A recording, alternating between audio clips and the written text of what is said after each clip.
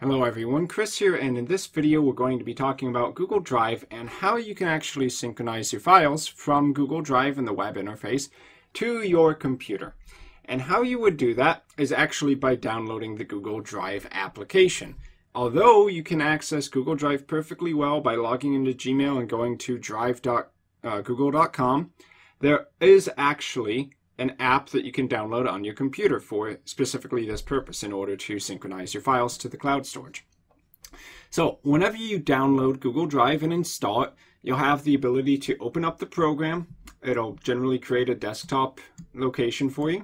We have Google Drive. You can double click that and it will open up the Google Drive folder for your user account on Windows. And if the synchronization is running and has actually obtained your files from your Google Drive storage, you'll start seeing them show up in this folder. Now what you're going to be looking for for each of these files and here once it's done synchronizing is a little check mark which symbolizes that the synchronization is complete and that the app, Google Drive, has confirmed that the file is on your computer, up to date, and is the same version as the version actually on the Google servers. But aside from checking this folder, how do you actually know that Google Drive is syncing? Well, as Google Drive is an application and does need to be running in order to do the synchronization, you would have Google Drive start up. You can make that a startup process on your computer, or you can just open it up when you want to use it. And whenever it's running, it's going to show down here in the notification area on Windows.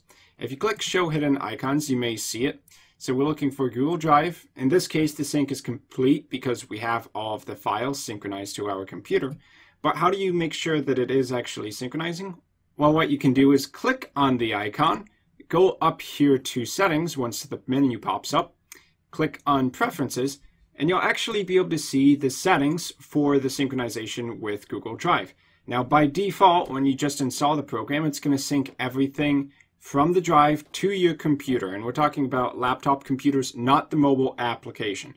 If you're using the mobile phone or tablet application, you actually need to manually select which files you want to synchronize to that device. And the reason for that is simply because the mobile devices don't have nearly enough space to justify synchronizing every single file. If you do decide that you don't want to synchronize everything, you can select here only these folders, which will give you a list of all the folders in your Google Drive, and you can select which ones you actually want to synchronize.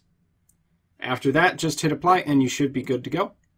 Now lastly, before Google Drive syncs entirely, you may notice by hovering over this icon down here that there'll be an animation indicating that it's currently syncing, and the text may not say sync complete, but instead file one of however many files need to be synced. And what the first number is indicating is which file it's on out of the total number that need to be synchronized.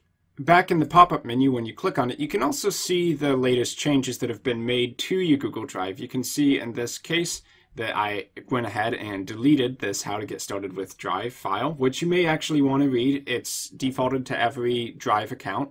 And you can also see that this folder and these two files have synchronized with what I have on the Google Drive account. So that's the gist of synchronization within Google Drive. If you'd like, you can subscribe to my channel where I'll have future tutorials, including Google Docs, coming up in the next few videos.